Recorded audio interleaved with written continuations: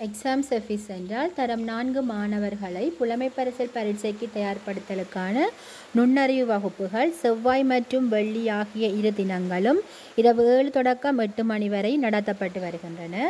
இவ்வகுப்புகளில் மாணவர்கள் மீதான தனிப்பட்ட கவனம் செலுத்தப்படுவதுடன் வினாத்தால் ஒன்றினை திறம்பட செய்வதற்கான இலகுவழி இலகுவழி நுட்ப முறைகளும் மாணவர்களுக்கு கற்பிக்கப்படுகின்றது. அத்துடன் மாதாந்த பரீட்சைகளும் நடத்தப்பட்டு வருகின்றன.